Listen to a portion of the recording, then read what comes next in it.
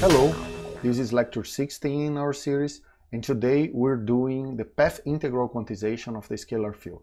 This may seem like a few steps back in our course because we already quantized the scalar field, but doing it through uh, path integrals will give us new insights on the structure of the theory.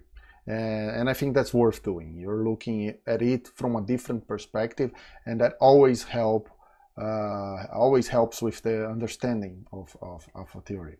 Right? So just to do a quick uh, uh, review, right? We did path integral quantization before of uh, harmonic oscillators. We did it many times. We, we found some uh, details on the boundary conditions of the path integral were very important. And in the end, the state of the art, the way that we found that was more direct way of doing it was through uh, uh, the Wick rotation. So doing the quantization on the Euclidean space and then rotating back. So essentially the, the steps we took in the in the harmonic oscillator was write the partition function in Euclidean space. So we wrote the action in Euclidean space and a partition function there, right? Which which is written in terms of a path integral over all closed paths in the Euclidean space. Then we, we can take a projection of that by making the period of these closed paths infinite, right? Uh, and I, we have seen that that is equivalent to going to the zero temperature of the system, which means the vacuum. Right? And once we got whatever quantity we were calculating at this vacuum, then we rotated back to Minkowski space, right? of course avoiding poles. And we have seen that once you do that, you get exactly the Feynman prescription. Your propagators become Feynman propagators. You've stopped the, the path of integration right before the poles. So we'll be avoiding the poles in the usual way for a Feynman prescription.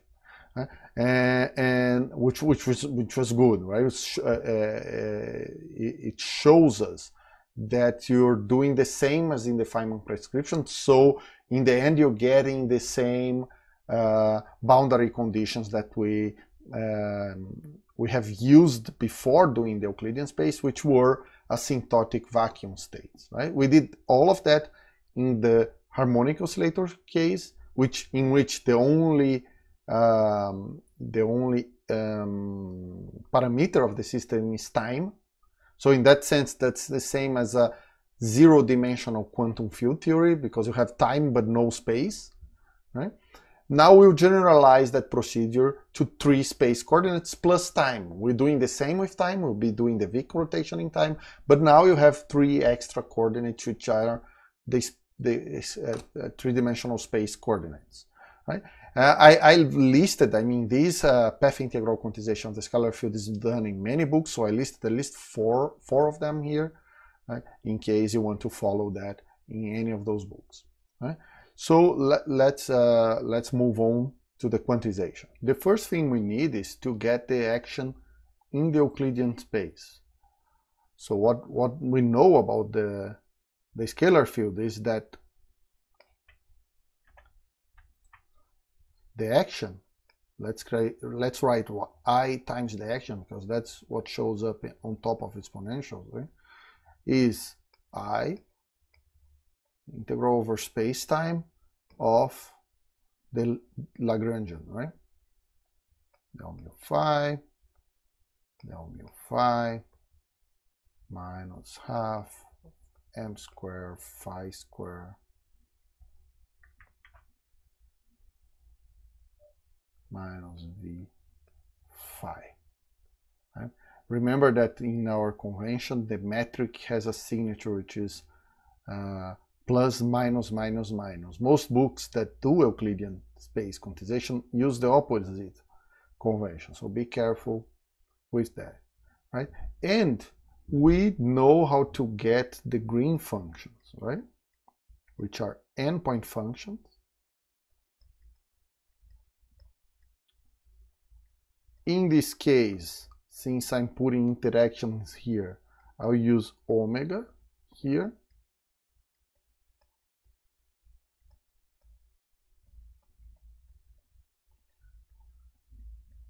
and these are the products, the time ordered product of operators, which you, we know how to calculate in the canonical uh, formalism, right? Just use Feynman's theorem and spend these and everything that we have been doing.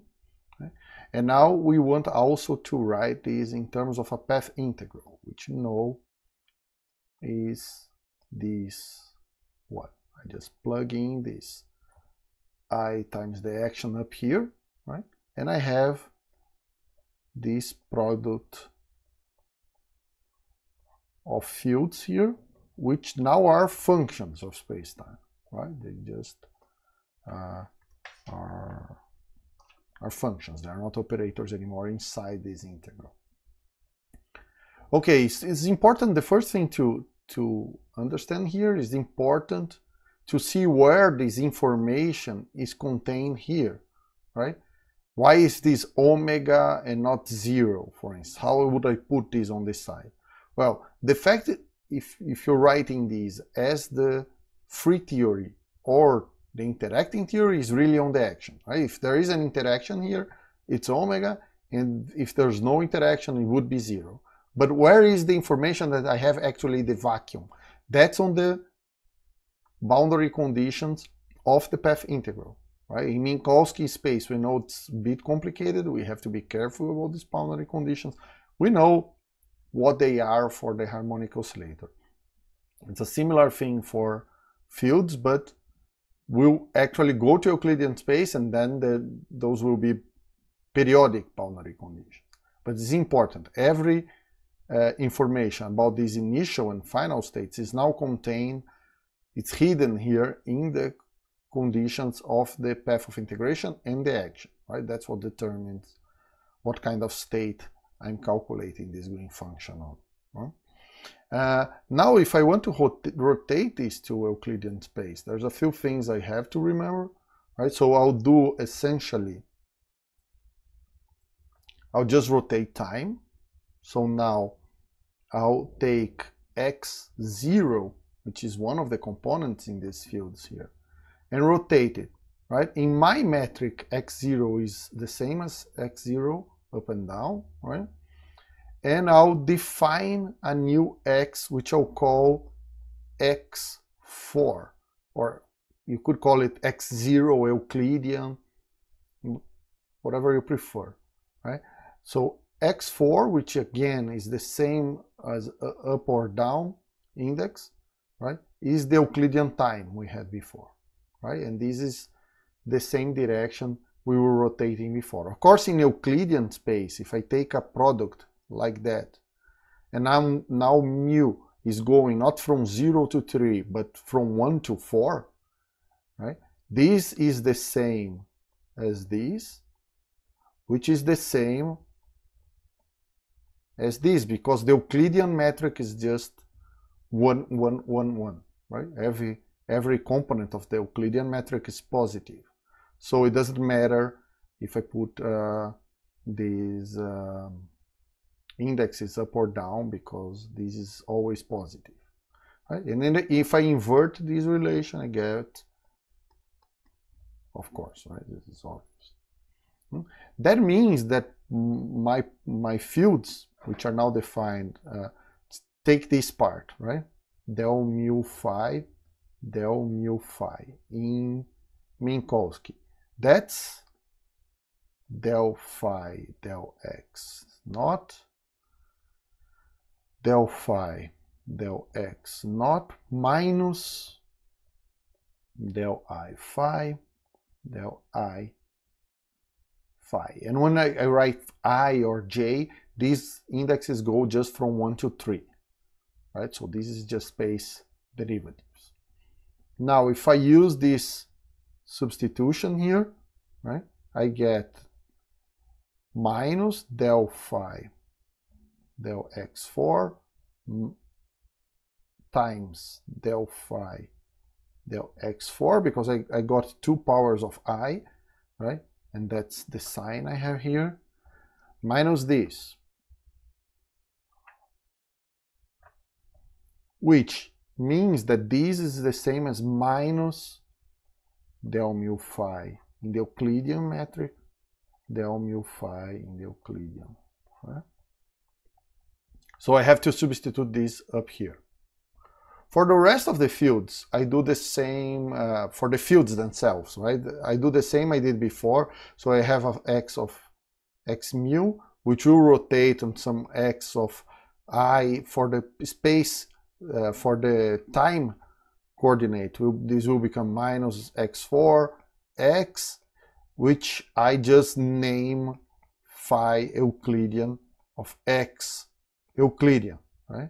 But I'll suppress these Euclideans. I'll just call that phi of x. So the fields themselves do not change at all. The expression of the action is the same.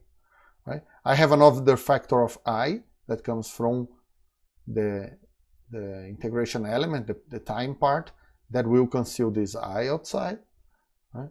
So in the end,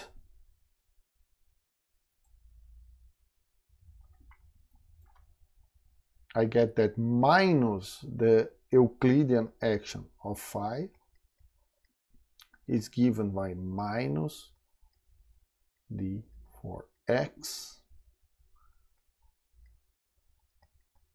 half del mu phi del mu phi plus half of m square phi square plus v of phi.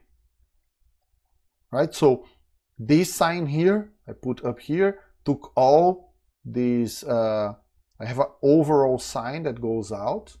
This i goes away with the minus i that comes out of here.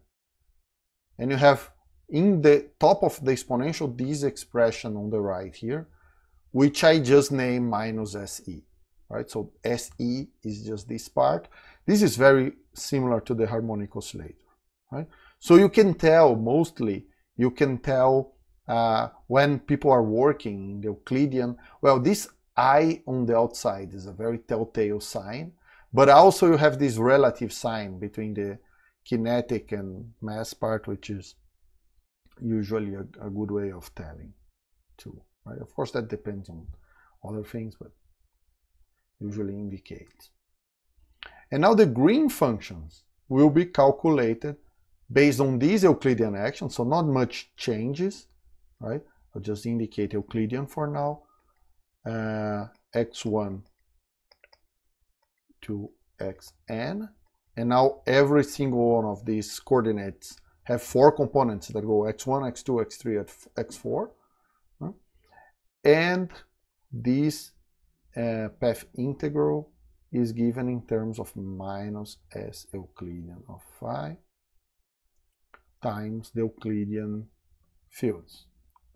It's the same, right? The expression, the only change is really up here. And um, that's all we care about. And, and, and, and finally, I can define the partition function, which, are, which is our generating functional z of beta uh, j in the presence of sources, right, as the trace of the exponential of minus beta times the Hamiltonian in the presence of sources, right? Which we have shown in the case of the harmonic oscillator that can be written as this path integral for a particular boundary condition, which is the closed uh, paths. Let me just write the action here. Euclidean plus j phi. And we have very particular boundary conditions here, which are these. Right? The Euclidean plus beta is the same as phi of x the Euclidean, right? This is all closed paths, and I'm integrating also over this point, right, at the edge. I mean, all points are the same, but I'm integrating over all closed paths. Also, I have redefined, before when we had these scalar products between j and phi, or j and q, right? That was just an integral in dt, jt, qt, right? That's what this, in, this scalar product mean, meant in the harmonic oscillator case. In here, of course, is the generalization of that to uh, uh, space-time, right? So this uh, just means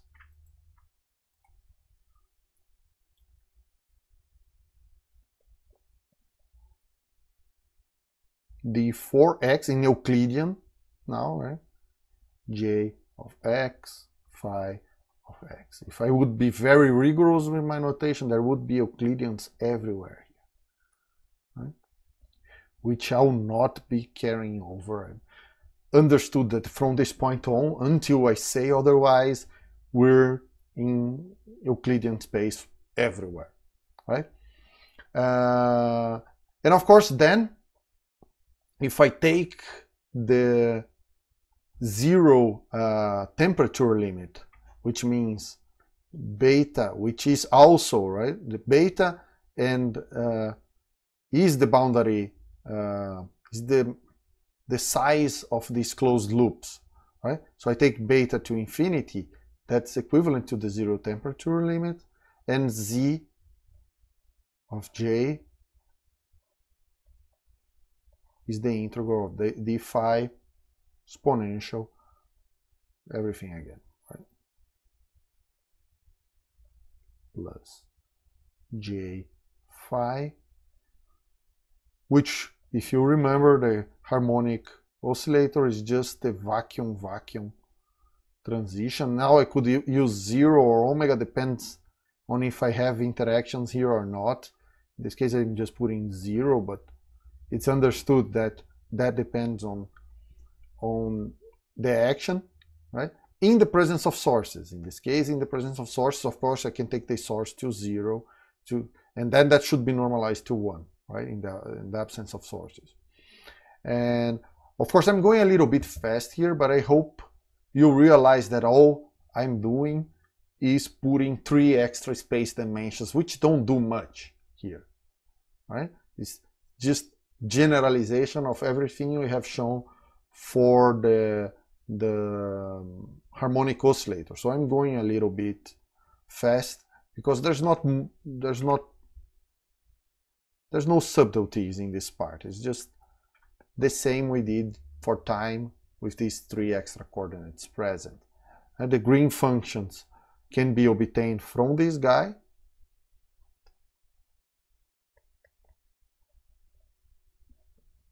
just as derivatives on, on the source.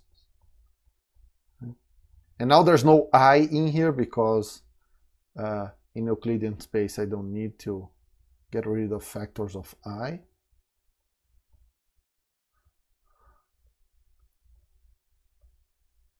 And when I send the source to zero, if I want green functions in the absence of sources, otherwise I usually put a j here to indicate uh, I can also calculate the green function in the presence of sources.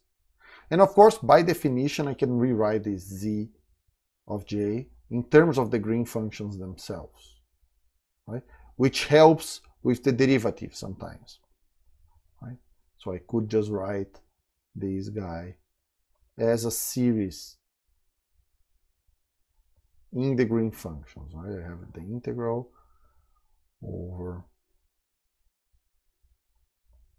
I go from 1 to n d for x i g of x1 to x and I have one integral for, for each x because this is a scalar product of g with all the sources, right? As many sources as I have points here, right?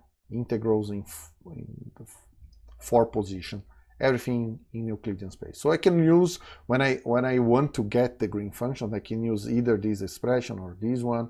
Sometimes this one will be useful just to avoid doing too many integrals. Uh, but most of the time it's easier to differentiate exponential. As always, we'll be quite uh, limited on how we can treat interactions here. Right? We'll have to, to do perturbation theory to include interactions in this theory. So I'll do the usual uh, separation, right? So my action, my Euclidean action in this case, will be separated in a free part, which is the Gaussian part of, of the action, and uh, uh, interaction interaction term, which contains everything but the Gaussian part. And I want to write my green functions in a way that allows me to to use this separation. Right? I want one of the things I want to do. So I'm, I'm taking kind of the same steps I took in the canonical formalism is to go to momentum space because we know we'll be doing scatterings eventually, right? So I'll, I'll just define this momentum space green function. And this is just the Fourier transform of the um, position space green function.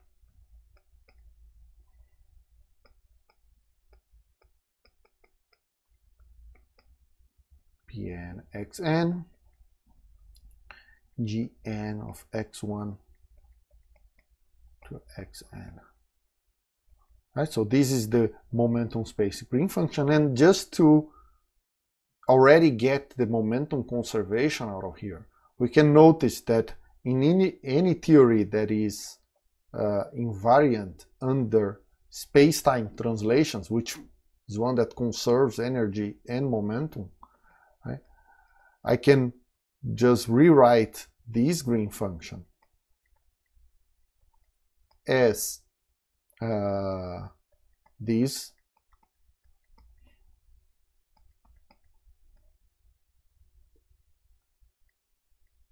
where this capital X here is just a shift, right? I just did a, a translation, a general translation in uh, time and space. Actually, let me use a minus sign here because what I want to do is the following, right? Let's take this shift to be equal to x1. So essentially I'm eliminating, I'm, I'm moving this coordinate to the origin, right?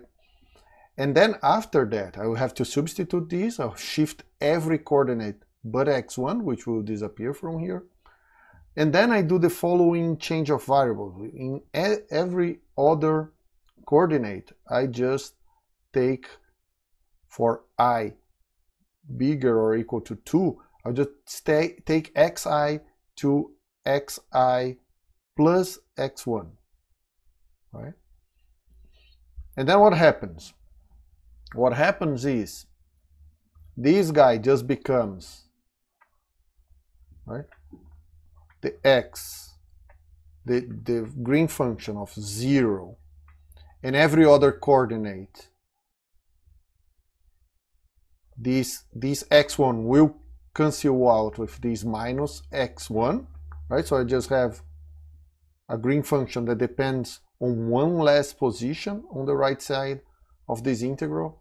But the rest of the integral becomes very interesting because what I'm showing is that assuming this uh, invariance of the green function under these translations, right, I can separate the two integrals. So the integral in d for x1 separates from the others because I have now a term which is p, all the p's times x1. Also, I have an exponential i x1 p1 plus all of them until pn.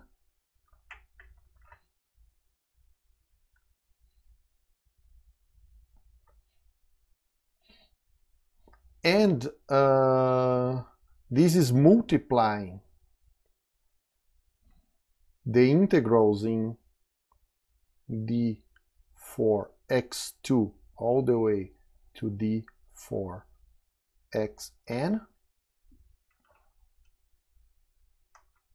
times exponential that does not involve x1 at all. It's just from p2 x2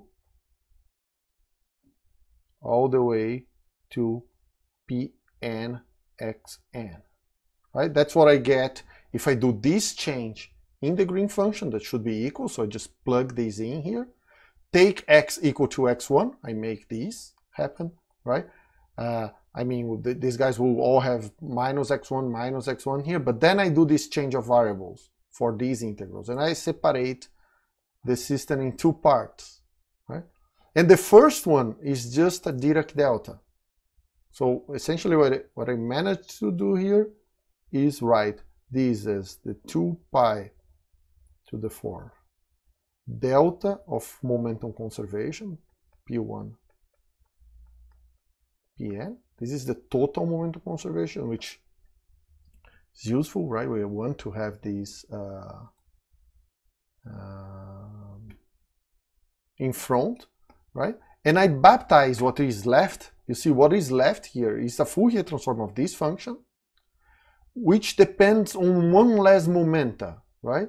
I, am transforming all these coordinates and I don't have one less momenta than I had here. I can still indicate this like that, P1 to Pn, but I have to remember that one of these momenta is not independent on the others. It's actually fixed by this condition. So in this case, P1 is just a function of P2, P3, P2. So this guy depends only on P2, P3, P4, all the way to Pn, right? Does not depend on P1 because it's just a function of the others. Of course, that's not particular to P1. I could choose any of these momenta to be just a function of the other moment. And this guy is, is the guy where we indicate without the tilde. Is, is the green momentum space green function in which it's implied already uh, momentum conservation. Now let me show you a very important result called the Dyson formula, right? Let me start with just a vacuum expectation value of some generic operator, which depends on the field's uh, phi. Hmm? So when I write vacuum like that, I mean the free theory vacuum. So that means that in my action on the right side of this equation, I'm putting just the S0 part. Hmm? And uh, let me just put the operator here. And it also means that I'm taking the periodic, the period of my closed uh, paths to infinity. So on this side, it's implied that I'm taking uh, beta to infinity here, right? And since I'm putting only the free theory, that's a zero over there. Now, suppose that this operator is not any operator, but it is actually the exponential of the interacting part of the action. Right? Now, what I'm calculating is the vacuum expectation value of this.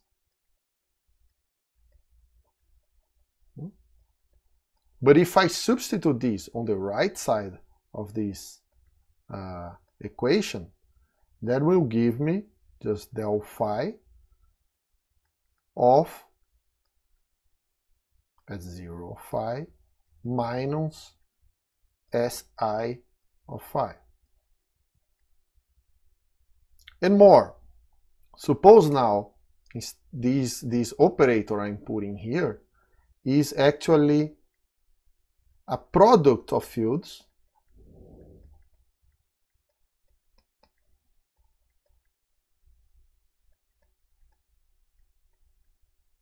times this exponential of the interacting part. Then the expression I'm obtaining, again, it's very similar to this one. Give me some space here. Right? But now I have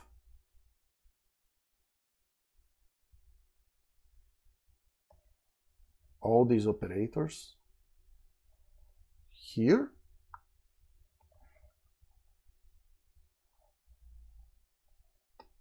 and here.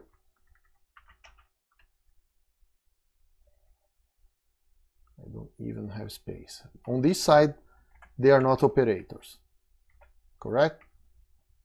just because in the path integral they become functions.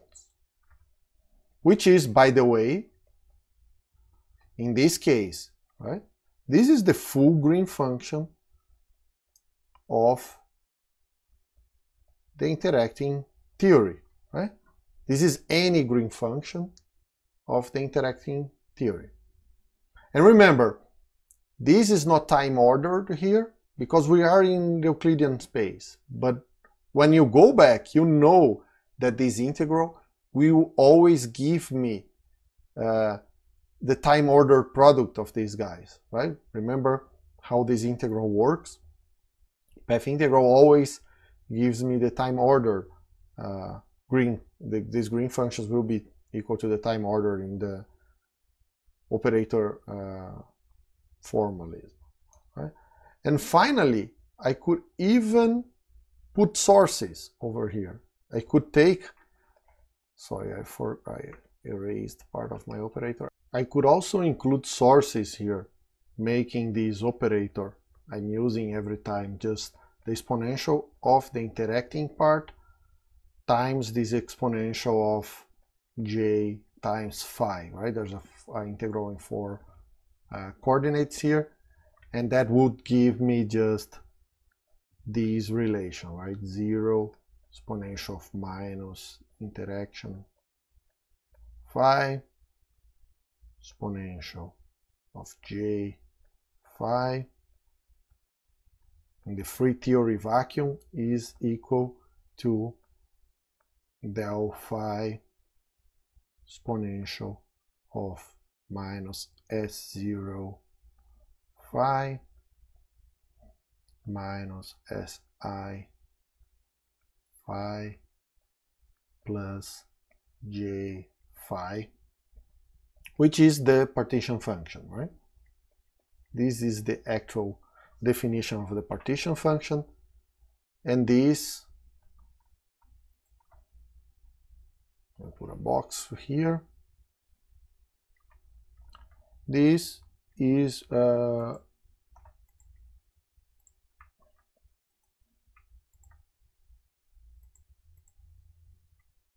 what we call Dyson formula. Hmm?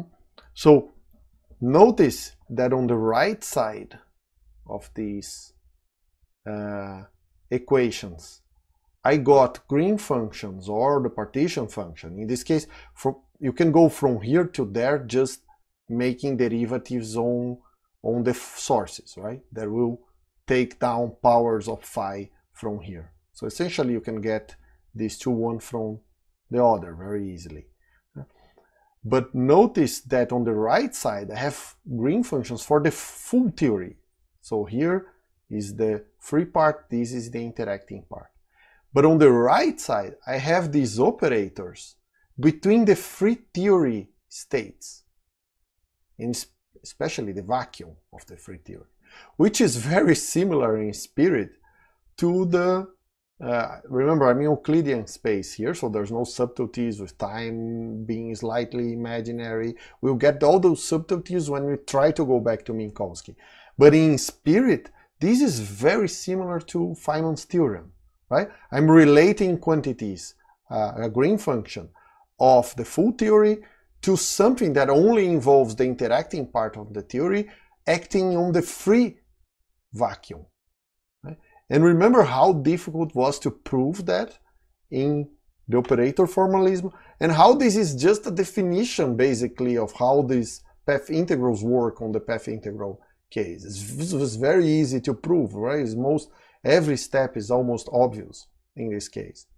Right? So that's one of the powers of uh, of uh, the path integration. Some proofs are just incredibly obvious. Some properties are just incredibly obvious in, in, in this formalism. Now let's take a look at the solutions for the free theory. In the case that the interaction term is zero, right? We have the partition function. I'll put a zero in the partition function here just to remember that we're talking about the partition function in this case of the free theory, right, which will also be the first term in the if I do a, a series uh, perturbative expansion of the free of the partition function, this will be also the first term, right? And, and, and this can be written as del phi, the, the phi of the exponential of minus s0 phi plus j phi, which written in a more explicit way is, let me get space here, d phi exponential of minus half integral in d for x del mu phi del mu phi plus because we are in Euclidean space m square phi square. This closes this integral. I'll keep indicating the other one by the scalar product just to keep it short right? And, this closes the exponential. So this is what we want to integrate in our path integral right I can do a, a, a integration by parts here to throw the two derivatives in one of these fields this is very easy to do here because remember we have periodic conditions so the surface terms will just conceal each other. So I do this uh, and write this exponential as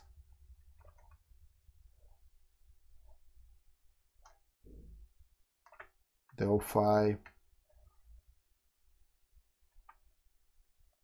I'm just changing this part to write it uh, in this way.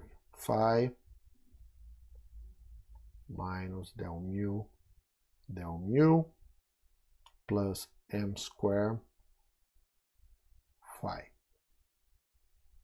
Right? And this is what I, I, I call my inverse propagator right? This is the operator I have to invert to get the propagator. It helps to notice that I can rewrite this um, exponential in terms of the classical solutions as we do as we did with the harmonic oscillator. So that's easy to do. I, I, I want something that looks like this right? Phi minus the classical solution right? And there are scalar products in many places here.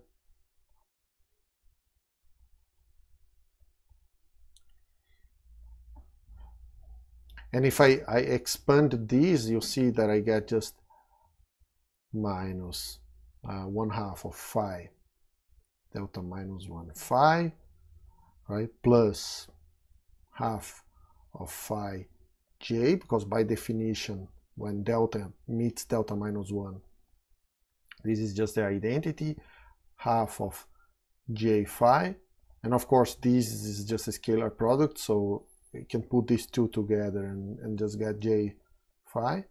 And I have this leftover term that is not there, right? So this is here, this is here, but this, this extra term I don't have up here yet.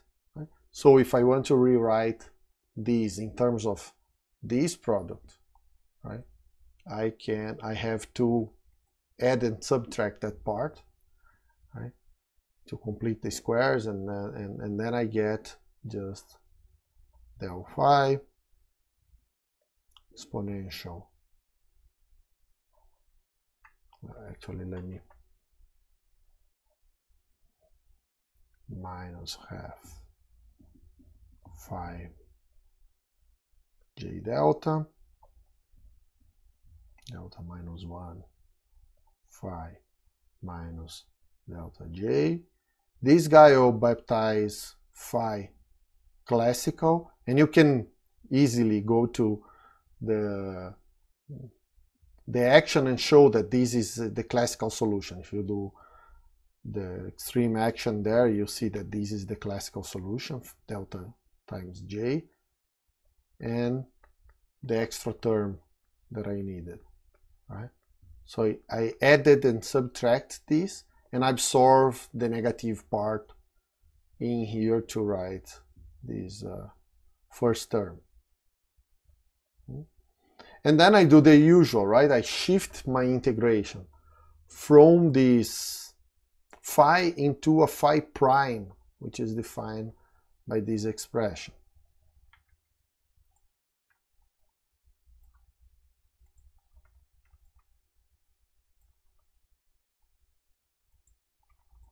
Right, so I define a phi prime, and then I can, of course, since this is just a shift, right? This is a constant in the path of the, the, the path integral. I can just put a phi prime here. And this guy goes outside the integral because it does not depend on phi or phi prime, right? So in the end, I have, again, I'm going as fast as I can in this part because this is so similar to what we did uh, in the um, harmonic oscillator.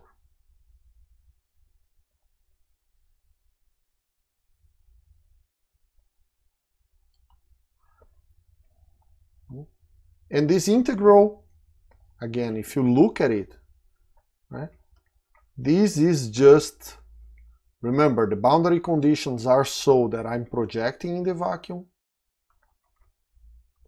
Uh, and uh, since I'm from the start with the free theory, this is the vacuum of the free theory in the absence of sources, because there's no sources in here. The sources went outside, right?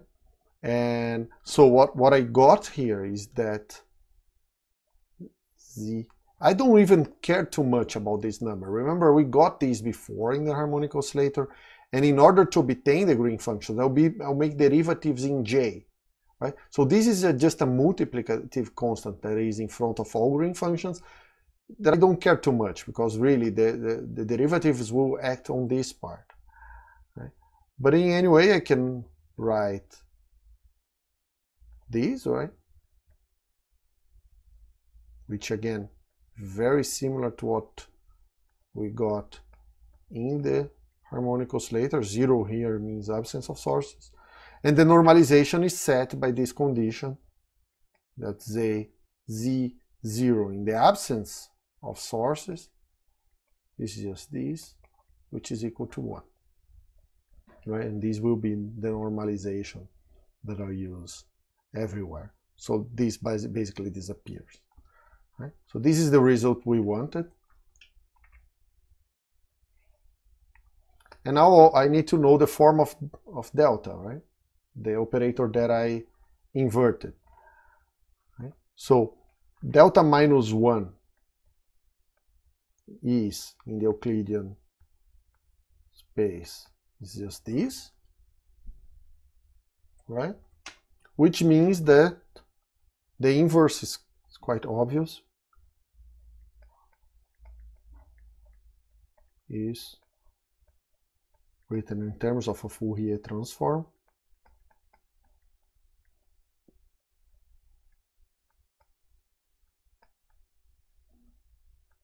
Everything here is in the Euclidean uh, space. And this guy is perfect, right? This is the propagator in the Euclidean space. And there's no poles in the path of integration. Everything is fine and wonderful, right? Sadly, we don't live on a Euclidean space-time. We have to go back to Minkowski, right? Which is more complicated. So when I'm rotating back, remember if you go back to page 47 in my notes, you'll see how I rotated back. Here's the same story, right? But I'll rotate only the energy part of this and, and, and the direction is set by uh, the condition that time uh, times energy keeps the same sign, right, in both uh, spaces, Euclidean and Minkowski. Go to page 47 and look for that. But the conclusion is I, I have to avoid the poles, right? If you look for the poles of this guy, you see that they are in the imaginary axis.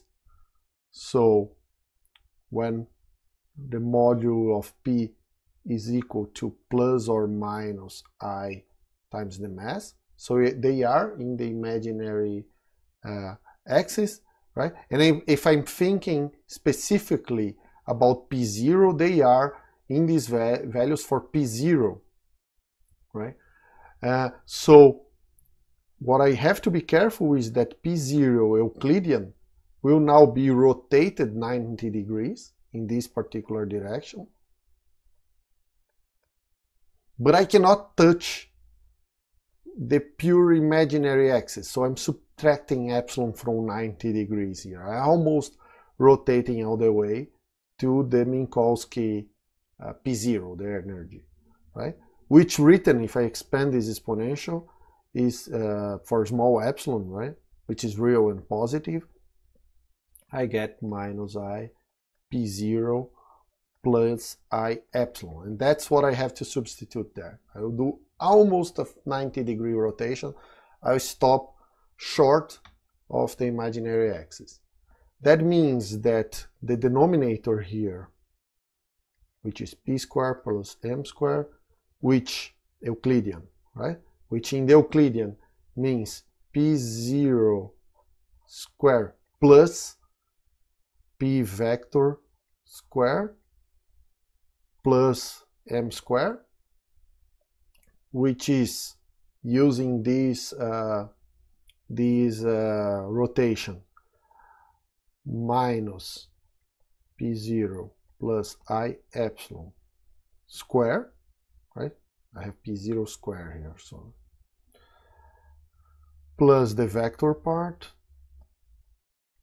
plus m square which now I will expand. Of course, the terms that are proportional to epsilon square I throw away, right? and I get minus p0 square plus p square plus m square minus i epsilon prime. There's a factor of 2 here, but I don't care, right? It's just a small number, which then I can rewrite, because this is the Minkowski space now, uh,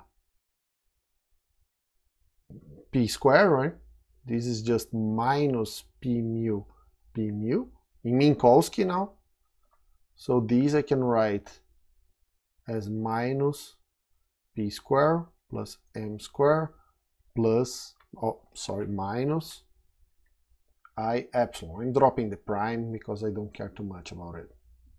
Hmm? And then I go back to delta, right? I have to, this is what happens in this denominator. I have to take a look at the rest. For instance, the scalar products of the sort, I also don't need this y, right? I take y to zero, right? But uh, products like these in Euclidean will now become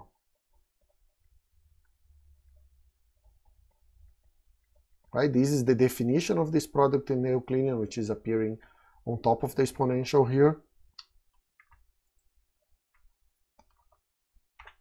And these I have to rotate both. In this I can go all the way because there's no point in keeping the epsilons on top of the exponentials, right? The epsilon, I'll keep the, the epsilon, epsilon only here where I actually trying to avoid the pole. I x naught plus px, right? And you see there's there's a problem with signs here, but since this is in an integral, right? And this denominator does not change with changes of sign in the integral, I can do a, change of variables in my integral, taking p0 to minus p0. That changes nothing, right? This, this part here gets a, a sign, but then the limits of the integral invert and I have to invert back and that absorbs that sign. So I really only change the sign in the exponential, right? And then if I change the sign of p0 here, these would become minus p, p mu x mu, which is what I, I want, right? So I can use a tricky a trick here in the in the integration. That's the kind of trick you don't have to do if you're using uh, a, a, metric which is this diagonal instead of the one we're using. Right? So that's why people that do Euclidean uh, uh, field theory usually prefer to use this metric because you don't have to be correcting for for signs of time every time you try to rotate back to Minkowski. So the, these are more direct if you have the other signature of the metric.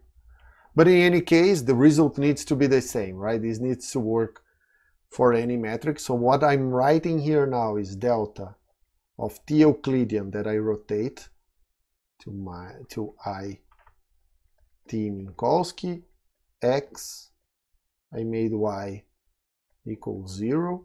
Right just to have a shift in my uh, to the origin there to keep just one number. And this is the f and this f I'll, I'll show you in a second because when we put everything together right this integral uh, changes very easily I just get a factor of minus i right so from the integration measure, I got a minus i. In the denominator, I have minus p squared plus m squared minus i epsilon. Sorry, epsilon. And the exponential has become just minus i p x Minkowski. Right? Minus i p x. Now this minus sign, I can change everything down here. And I got Feynman's propagator, as I should, right? So the moment I try to go back to Minkowski, I get the Feynman propagator with the right prescription on how to go around the poles, right? Because I demanded on the Euclidean side a projection on the vacuum. Hmm? And again, I get the same Feynman prescription, which is kind of cool, right? You're doing through a completely different path and you still get these same uh, propagators. Again, we see this connection on how you project on the asymptotic states and, and, and Feynman's propagator. Now we have the Feynman propagator and we also have something which is very similar to Feynman's theorem up here, right? So we, we have seen that we can actually calculate these as transition between vacuum states. And we know what happens with that, right? We're expanding these and we have a product of operators on this side, right? Which lead us, right? Once you have these exponentials truncated to some order, you just have a product of many operators that lead us to Wick's theorem. But how does Wick's theorem looks on, on this side, right? If we want to calculate green functions straight from the path integral without using the operator uh, formalism, how does it look? So that's our objective now, to, to see how uh, uh, how Wick theorem will work on the path integral. So first, let's let's do a simple exercise here, which is to think of a, of, of a function of these fields. Take a function of a collection of fields, let's say just for the sake of being definite, totally arbitrary one, just I want to show a very good property of working with path integrals. So take this function, right? This is just a product like any other product that you have could have of fields calculated at different points in space-time. So I have x1, x2, and x3, three points in space-time, and I have phi to the square applying x1 and phi to the fourth in x3, etc. Right? Now, if I want to, to calculate the expectation, vacuum expectation value of this function, with a path integral. And remember, I'm not worrying about time ordering here because that comes when you rotate back to. Uh, uh, to Minkowski space. Uh, so I'm writing everything in Euclidean space. If you want to calculate that with a path integral, what you do is calculate the path integral, the exponential of minus the action. And let's think of the t free theory first. So S0 means free theory. And then I just put this product over here. I just take this, plug here, and we're done. Right? This, this, if I calculate this integral, that's the uh, vacuum expectation value of the function. But note the following. Right? If I apply any functional derivative in a source to the exponential of the source, hmm, this is the same as the exponential times, I mean, we did some exercises on these functional derivatives when we were using the harmonic oscillator of this scalar product right here, right? d4x, jx, phi x. Right? And, and we know that this derivative will act on j here, giving just a delta 4 of x1 minus x, right? Which then can, which then can be used to integrate in x, right? And we have just phi of x1 times the exponential. So multiplication of phi by this exponential is the same as the derivative in the exponential. Right? And we can use this a lot, right? For instance, in this case, Suppose I want to rewrite this expression using this fact. I can rewrite this in the following way. Let me just exchange each of these guys by derivatives. So the first one, I just take 2 times the derivative in relation to, let me do it like this, right? x1 one time the derivative in relation to j of x2 and four times in relation to j of x3. That acting on this integral, right? Of course, the derivatives go out of the integral, but I have to add a j phi term here, right? Otherwise, there's nowhere for these guys to act. And remove it again in the end. So I, uh, this should be understood as first I act with the derivatives, then I take j to 0. That's another way of writing the expression above, right? Will give me exactly the same result. Hmm? And we can generalize this for an arbitrary function as long as the function, whatever is this function here, if it can be written as a power series of the fields, then I can I can generalize this, right? As long as I can write it as a power or a series, powers of phi, then I can generalize this and write the following very useful expression, which is that the vacuum expectation value of a function of phi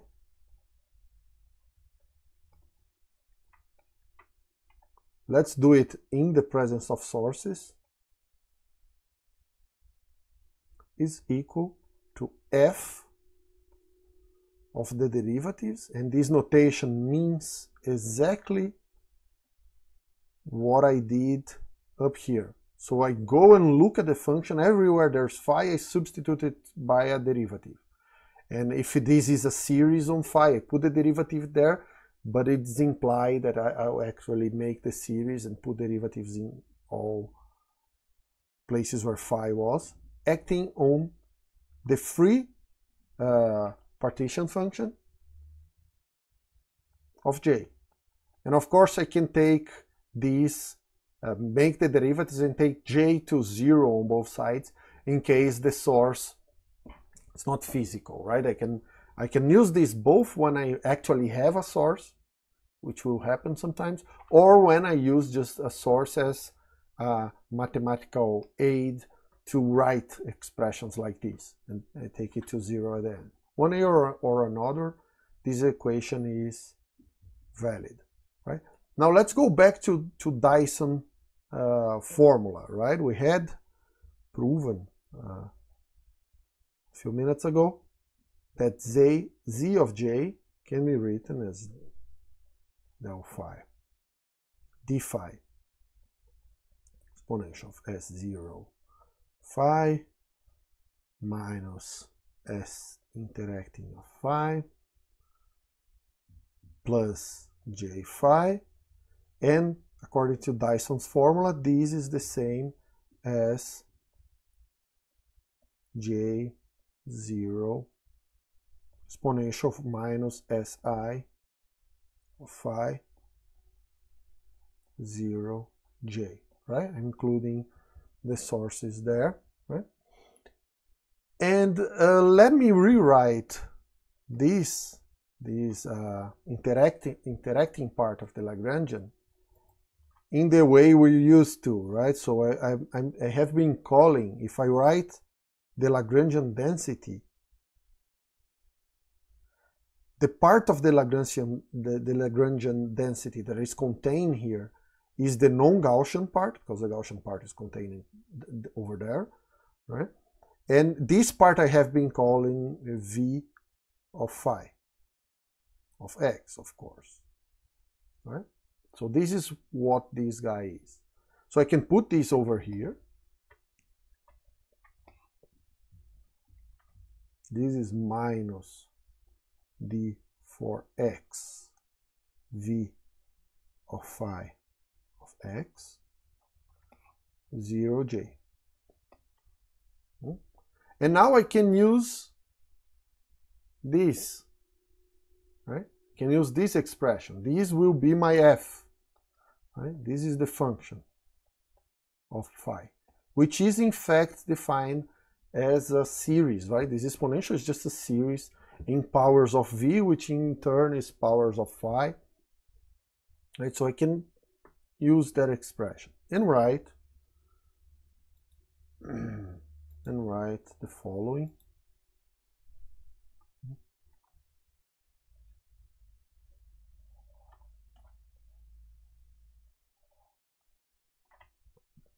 z of j will be the exponential of minus d for x v of del del j of x.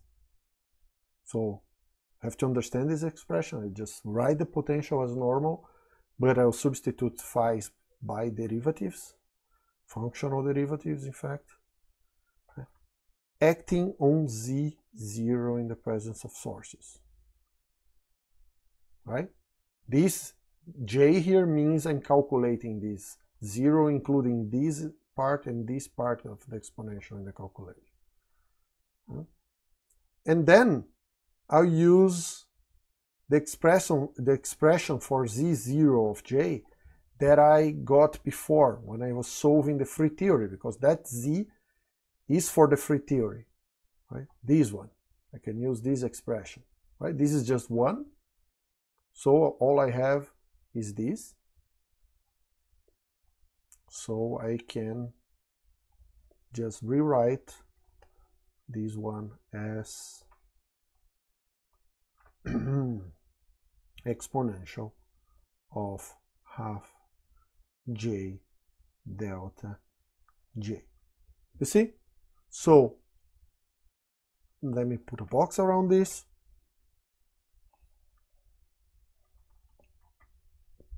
This is not very obvious, right? But this is Wick's theorem. Wick's theorem is already contained here. We'll see how in a moment. But for now, notice what I did, right? Uh, uh, uh, we already know that when I'm calculating green functions, the green functions will be obtained from the generating functional just by applying derivatives in J, right? Now I have also these derivatives, but uh, I, I have also these derivatives in J for each vertex, right? You know, the, the G, let me write this because this is important. G of x1, x2 will be del, del J of x1, del, del J of x2, acting on Z. And if you have no sources in the end, put J to zero. These derivatives are on the external points. Now, I wrote this in a way that I also have derivatives for the internal points. You see, the points in this exponential here are the points of the, the vertex, the vertices, right? Once I expand this exponential to some order in the perturbation theory, for each term, I'll have a, a number of vertices, and I also have derivatives acting here for the internal point. So I have now two sets of derivatives. One coming from this, which is the vertices, and one coming from the green function, which are the external points.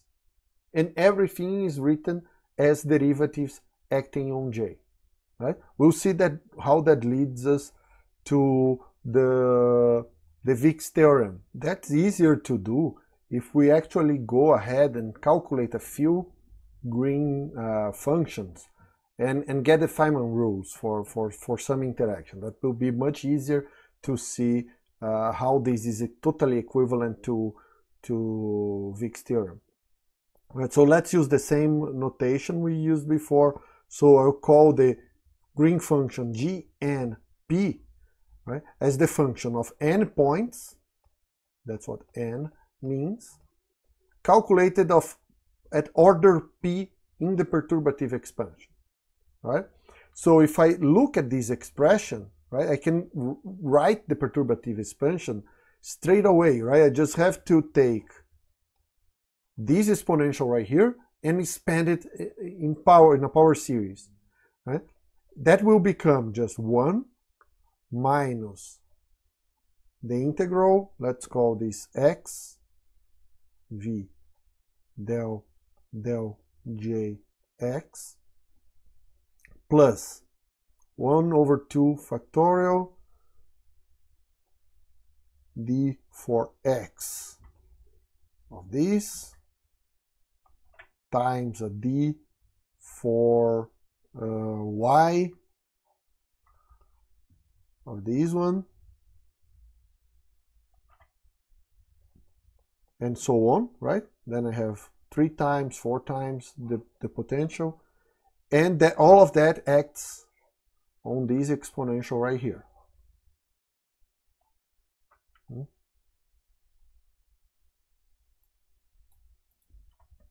Right? So that's essentially the the perturbative expansion. If I truncate it somewhere, right, I get the approximation to z at some order. And that's why I, I use this to define, right, some quantities which are the, the partition functions calculated at some order in perturbation. Well, Z0 is the one I have been using, the free theory one, plus this is Z0, right? Just exponential. This one is called Z1 of J I mean, including the exponential, of course. Is this acting on the exponential, and this one is z2, and so on, right?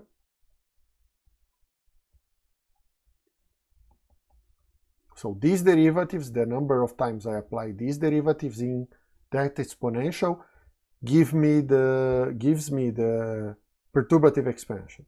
And then if I want to calculate the green function, the green function will be just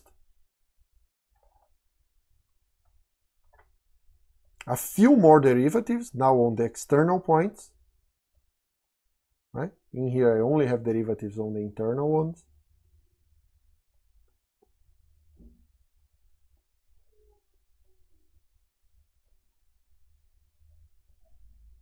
Acting on Z, P, right? Because then I know I only took the theory at some specific order in the perturbative expansion.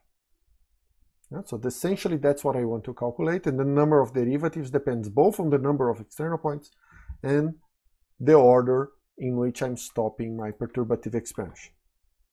So this is generic expression for G of NP, which is, again, somewhat nicer written in terms of functional derivatives than in terms of uh, operators, right? You can write everything in a more compact way, even if a little bit less transparent, right? And now let's let's calculate. Let's take G1, 0. This is the one point function in the presence of sources at, for the free theory, right? At zero order in the perturbative expansion. That's the easiest thing to do, but it's a very useful object. And now that we know a little bit of Feynman diagrams, we can straight away rewrite these diagrammatically, and that's that's the important part, right? So let's take a look. I just have to apply this on this guy, right? So of course, this is just the exponential. And then I have the derivative acting first on this j and then on this one, right? These two scalar products give me a, a, a integral in two variables that I'll call just uh, d4x and d4x prime of jx delta xx prime j x prime right? And the derivative is acting on this. When it acts here I have a delta of x x1 and then I integrate on x and x1 ends up here on this position right? When this acts on this second part, I have a delta of x prime x1, which then allows me to do the integral in, integral in x prime, and x1 ends here in this position. Doesn't matter because this guy is symmetric under the exchange of x and x prime. So I can just use that to elimin eliminate a factor 2 that I actually forgot here. There was a half up there, right? Should be here because I'll have twice the same result, which is just, let me copy the exponential, d 4x delta x1 x j of x, right? Because I can, in the case I integrated on on x, I can always call x prime x later and and get this, which is just the scalar product of delta j, and this is a function of x1, right? It does not depend on x because that's integrated, but it is a function of x1. Hmm? So my conclusion here, we did this in, there was an exercise for the harmonic oscillator where you should have obtained something very similar to that way uh, uh, some time ago but the important point is this right let me j delta j so doing the derivative on this exponential takes down this function of x1 right I just introduced a dependence on x1 that was not here on the exponential and diagrammatically we can rewrite this in the following way. So I usually use this symbol to represent a source, right? Uh, external source, something that is not quantized, right? And, and then this equation is written as j of x exponential source to source. And notice this is exactly what's written here because it's source, propagator, source, right? Source, propagator, source. And even this factor half comes from the fact that the position of the source is not specified, it's integrated over. So there is a symmetry factor through the exchange of sources here. And that symmetry, so if you apply Feynman rules and just associated this to a source, right, acting on, on, on, on this point, which in this case is integrated, right, you get this factor half, is the symmetry factor of this diagram. Very simple diagram. Now it is different from this one because in this one usually the points are fixed. So that's just delta. There's no symmetry factor. And on this side what I have is just x1 or in this case I put x here so it's x connecting to the source and now there's no symmetry factor because the source is integrated all over space but x is fixed right times the exponential. So now in other words and this is the important thing when I do the, the derivative I fix one of these points. I take one of the points. In, in fact I took both but then there is this symmetry and I can just add the two options right here. And I fixed one of the points. And that's what these derivatives will do. They'll take points which are integrated over and fix attribute a fixed point to them right? In this sense that I have a coordinate in space-time which is given right? And of course this function if I take j to 0 right in other words, if I calculate g1, 0 of x1, now without the sources, I don't put a j here like I, I did up here, right? This is 0. So the one-point function is 0, uh, in fact, for any free theory, right? Scalar 1. So that's an important thing. In absence of sources, this, this is zero. This is true for the one-point function, but it's also true for any function of um, an odd number of external points. So if I take k equal to 0, 1, 2, etc., right, and, and calculate g 2k plus 1, that means all the odd functions in the free theory, mind you, right? I'm just talking about the free theory, right? Of an odd uh, number of external points. This will always be zero, and, and it is intuitive why, right? I, I, if I'm doing an odd number of derivatives, and I have an even number of j's up here, right? In any term that will show up in the, these uh, chain rule for the derivatives, will have something like that in front. There will always be a leftover source that is not uh, differentiated, right? And that's when I take j to zero, mind you, this is in the absence of sources, that goes to zero. So all odd uh, green functions are zero in the free theory in the absence of sources. Right? Now let's look at the two-point function. Right? The two-point function, again in the free theory, is just g2, 0, x1, x2, j, right? In the presence of sources. And that's delta, delta j of x1, delta, delta j of x2 acting on the um exponential.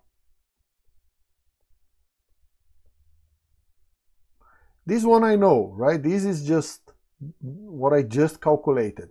Right? That's the one point function for the free theory, for point x2 in this case, in the presence of sources. So I just have to act with this del delta j x1 on this scalar product calculated at point x2 times the exponential j delta j, which in turn is just,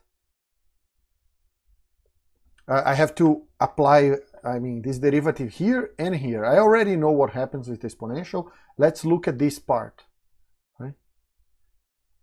Del, del j x1 acting on this scalar product is the same as acting on delta for x, delta of x, x2. Again, I'll repeat myself, but doesn't matter the order here. j of x, right? The derivative x here, that becomes a delta of x, x1, Dirac delta, and I integrate. So this is just right, delta x1 x2 right? As expected. When, when I I act with the, this derivative I fix one of the points.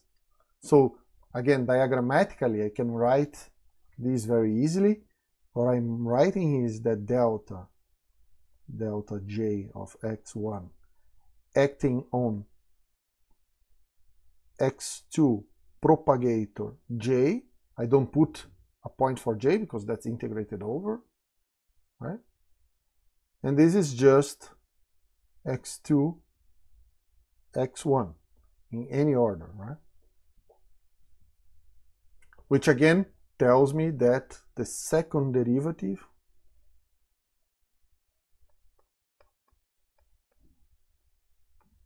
what I'm trying to calculate. Right? Now I can use this and this other derivative in terms of the diagrams, right? So I can do the product rule for the derivative here using these two. So the first term will be just x2, x1 times the exponential, but I bring the exponential outside to the right,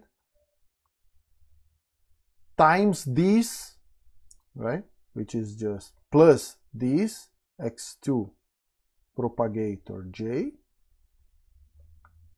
and the action of this derivative on the exponential, which is ju just x1 j. And this is all multiplying again the exponential, right? And this is the answer. In terms of diagrams, I can write it explicitly also in terms of the mathematical expression.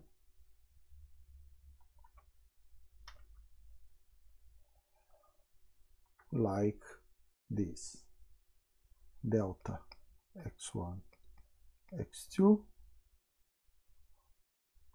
plus delta j of x1 delta j of x2 times the exponential of half j delta j. Right? It's the same as uh, what's written diagrammatically up here. And this is the two-point function in the presence of sources.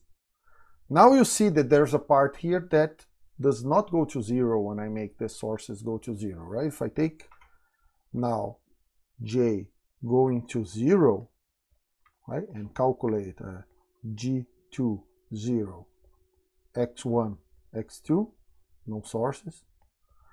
This is just 1, this is all 0, and I have just delta x1, x2, which is what you expected for the Feynman rules, right?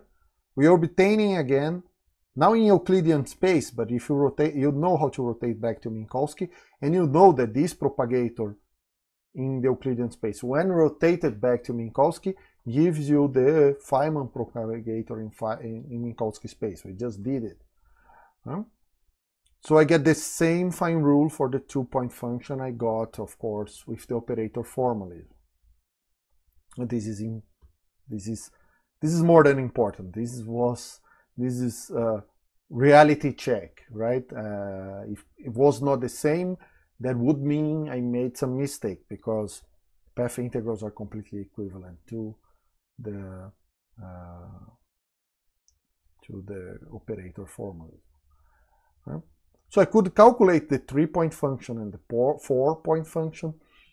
Uh, I'll leave that as an exercise to keep doing these derivatives. But uh, the logic is, uh, I hope, is already clear, right? If I put more derivatives, the derivatives just act on the loose points here, these source points, and fixes them, right? So if I had four derivatives, j4, 0, the 3.1 we know is 0, right? Again, uh, you calculate that in the exercise. But if now I have four uh, derivatives,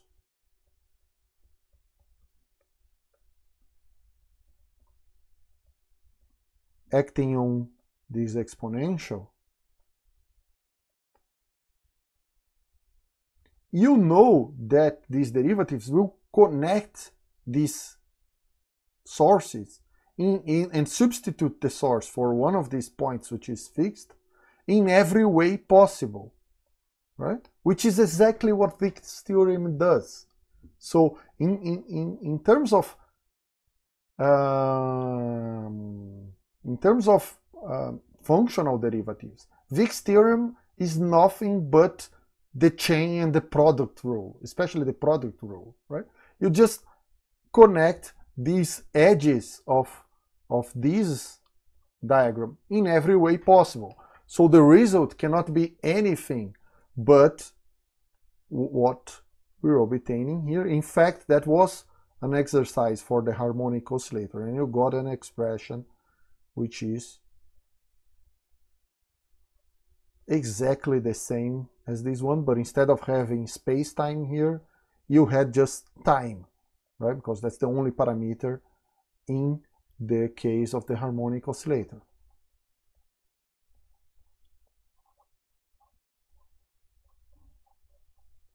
Hmm?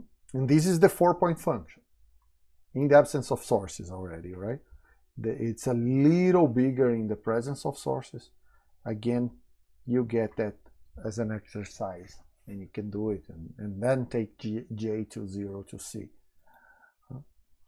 And, and of course, diagrammatically, what I'm doing is just connecting four points.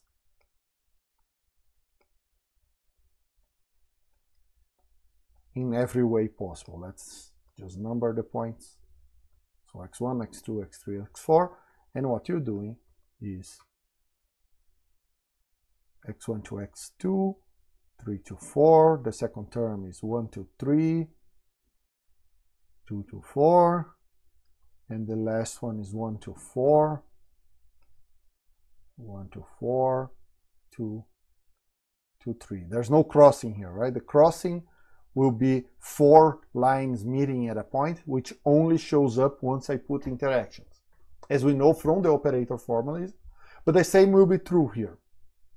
There's not much difference. In fact, the next thing we'll do is include interactions in this path integral formalism and see, right? Then start to calculate, uh, because so far we only calculate G 0 for the free theory. Let's calculate G1 for some theory and see. In fact, the, what, what I want to show is that on the path integral formalism, it's very easy to, uh, to get a general way of getting Feynman rules for, for any, from any Lagrangian without doing what we have been doing, which is basically induction, right? We have we look very a, a, big number of diagrams, and we realize that every time a vertex show up, there's a minus i lambda in the case of lambda phi 4, right? There's a more generic way of seeing using these derivatives, and that's the next thing we'll see. But that that's for the next video, and and and this is really all for today. See you soon.